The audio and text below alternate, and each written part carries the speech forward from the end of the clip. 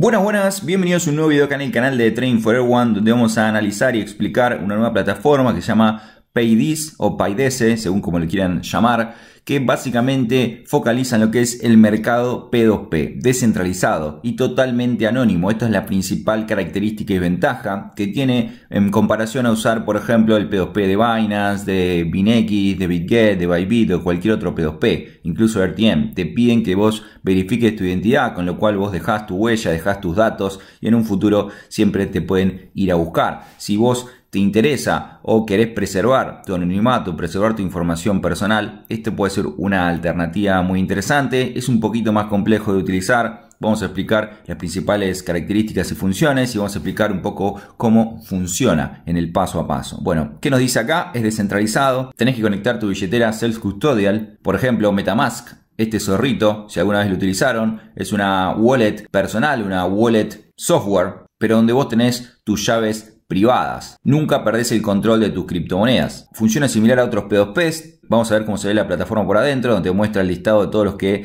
te permiten comprar y vender. Esto está bueno porque funciona en España, en Argentina, en Venezuela, en México, en Colombia, prácticamente en casi todos los países y te permite comprar y vender de manera segura. ¿Por qué? Porque hay un smart contract en el medio las criptomonedas quedan bloqueadas y se liberan una vez que ambas partes confirman que salió todo ok la transacción. Y en el caso de que algo salga mal, se puede hablar siempre también con servicio al cliente de país y que nos ayuden para levantar un ticket y recuperar el dinero. Pero recordemos que siempre estamos al usar un P2P trabajando con una persona que no conocemos, con lo cual hay que tener sus recados y manejarse siempre dentro de la plataforma, seguir todos los pasos y demás. Self custodial, o sea, conectas tu billetera no tenés que crearte una cuenta con nombre, usuario, nada. Directamente conectas tu billetera y transaccionás. Te aparece el dinero donde vos quieras. Incluso se puede cobrar en efectivo en algunos casos. Se puede operar 24/7. Acá nos muestran que es la nueva generación del P2P. Seguro y descentralizado. Como dijimos, tiene un contrato inteligente que bloquea las cripto que funcionan como garantía. Por eso es que los fondos siempre están bajo tu control. Y hay distintas redes donde se puede operar. La mayoría de ustedes van a usar la red de Binance, la BNB Smart Chain, la blockchain de Binance. Pero también se puede usar, por ejemplo, Ethereum y otras redes. Ya hicieron más de 20.000 transacciones, más de 10 millones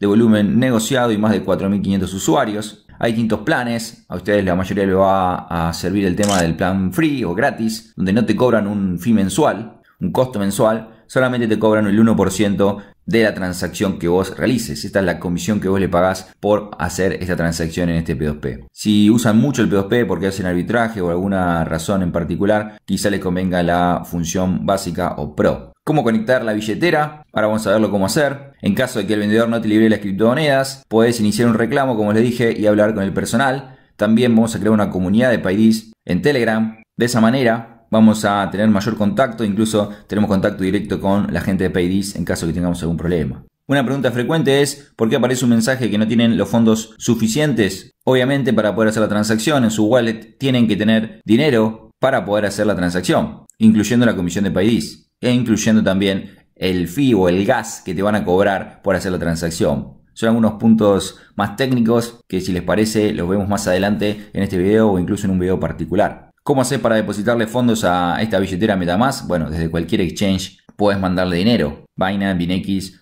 o quien sea. Incluso Binex no te pide KYC para usar la plataforma, así que puede ser una alternativa. Abajo le dejo el link de registro en Binex. Está muy bueno este blog donde te explica un montón de información, por ejemplo, cómo conectar tu billetera, cómo hacer para comprar, cómo hacer para vender. Vamos a ir explicando esto en los principales pasos. Y esto es importantísimo que lo lean, cómo operar de forma segura para evitar estafas, Recordemos de nuevo que es una persona que no conocemos y que siempre tenés que ser desconfiado por naturaleza. Cómo hacer para elegir a los comerciantes, el tema de liberación de activos, los pagos en fiat, transferencias a terceros y demás. Esto es importantísimo que lo lean antes de usar la plataforma. Así se ve la plataforma. ¿Cómo acceden a esto? Donde dice, cliquen acá donde dice Go to App y van a llegar a esto. ¿Y qué te va a pedir primero? Bueno, que conectes tu wallet. Cliqueas acá y puedes conectar tu MetaMask. También se puede conectar, por ejemplo, la Coinbase Wallet o la Trust Wallet. La mayoría de ustedes va a usar MetaMask o Trust Wallet. Estas son billeteras personales donde uno es dueño de las claves privadas, donde vos tenés tus cripto totalmente anónimas, lo que se llama una software wallet o una soft wallet. Seleccionás MetaMask, por ejemplo, y acá te va a pedir acceso a tu MetaMask y que firmes el contrato para poder interactuar con esta plataforma en particular. tenés que elegir la red. Es importante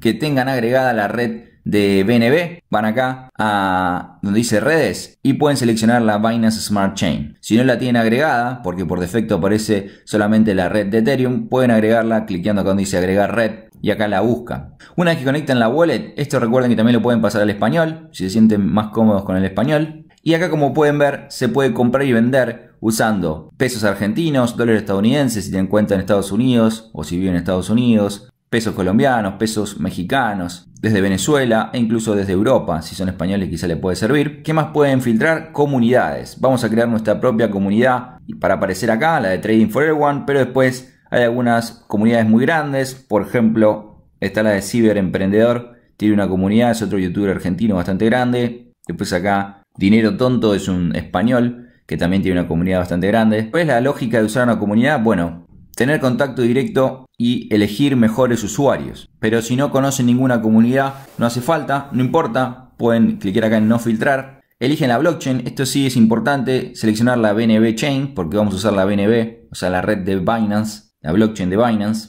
Y acá con la cripto que van a pagar. La mayoría de ustedes va a usar USDT, pero también se puede usar USDC. Y acá eligen la moneda, fiat. Por ejemplo, también pueden elegir dólares estadounidenses y acá les va a mostrar el precio, la comisión que van a estar pagando, es aproximadamente un 2%. Acá te aparecen los distintos comerciantes, un poco de la información de este comerciante, desde cuánto está operando, la cantidad de transacciones que hizo, qué opiniones tiene. Cuanto más arriba está el comerciante, menos comisión voy a pagar. Y siempre está bueno elegir algún comerciante que tenga una gran cantidad de transacciones. Acá me figura el método de pago, se puede pagar por ejemplo con Pioneer, con Utopía, con GrabFi, con Global 66, transferencias locales estadounidenses. Hay varias alternativas, incluso Prex Uruguay, por ejemplo, acá. Y si elegimos, por ejemplo, peso argentino, tenemos Mercado Pago, transferencias bancarias con CBU o CB corta U. Y también puedes vender tus criptos. Las criptomonedas se envían por adentro de la plataforma y vos recibís el dinero en tu cuenta bancaria donde vos lo definas. Lemon Cash, por ejemplo, transferencias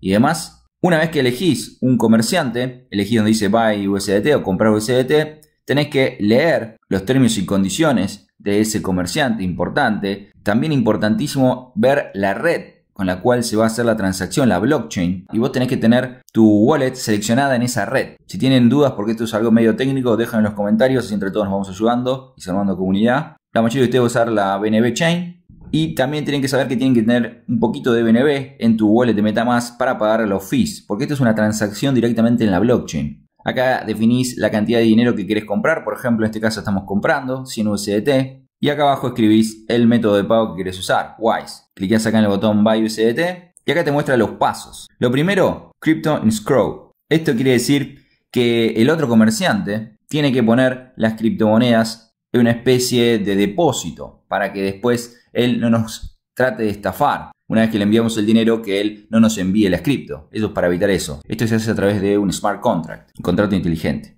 Una vez que lo hace, que bloquea esas criptos en ese contrato inteligente, nos avisa con este tilde. Y después tenés 45 minutos para hacer el pago a el vendedor. Te van a dar los datos, a dónde tenés que enviar el dinero, porque acuérdense que acá estamos comprando USDT, comprando cripto. Y una vez que le haces el pago, bueno, tenés que marcarlo como pagado. Acá te pregunta de nuevo que estás confirmando que enviaste la transacción a través de método que te dijeron, se llama, le enviaste el dinero fiat, el dinero tradicional. Pones que sí, si está todo ok. Acá te explica lo que les comenté antes, tenés que saber que esto se hace a través de smart contracts y esto requiere pagar los fees de los mineros, o el también conocido como gas. Entonces vos tenés que tener BNB para pagar la transacción. Son comisiones muy chiquitas.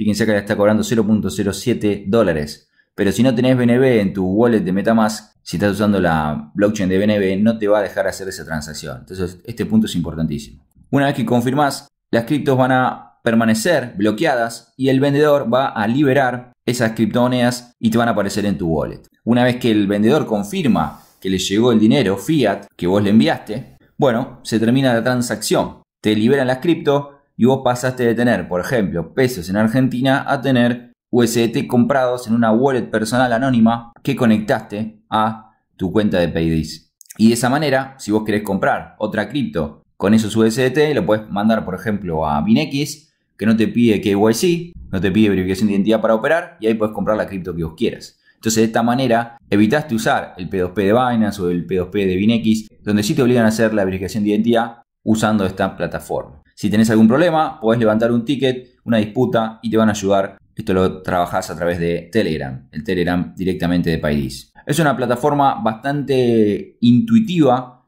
es un poco compleja si sos nuevo en el mundo cripto, porque directamente se usan contratos inteligentes, se usa directamente una wallet fría, pero justamente esto es para moverte dentro de lo que es la Web3 y no usar un exchange centralizado. Si quieren que hagamos un video específico de cómo comprar y otro de cómo vender con un paso a paso, comentalo abajo, así si hay interés lo hago en un próximo video. Espero que te sirva. Recuerda que vamos a armar nuestra propia comunidad dentro de Paidis, así tenemos un contacto más cercano y tenemos beneficios y contacto directo con la gente de Paidis. Buscalo ahí en la parte de comunidades. Comenta cualquier duda que tengas. Compartirlo a cualquier persona que le pueda servir esto para comprar y vender criptos. Y nos vemos en un próximo video. Hasta luego.